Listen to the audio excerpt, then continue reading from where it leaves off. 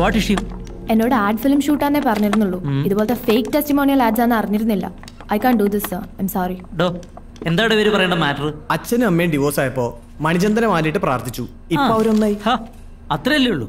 What is issue in it ഞാൻ പറഞ്ഞല്ലോ sir I can do fake testimonials എന്റെ അച്ഛനും അമ്മയും ഡിവോഴ്സ്ഡ് ഒന്നുമല്ല. അതിപ്പോ ഞങ്ങൾ കുറ്റമാണോ? Let me go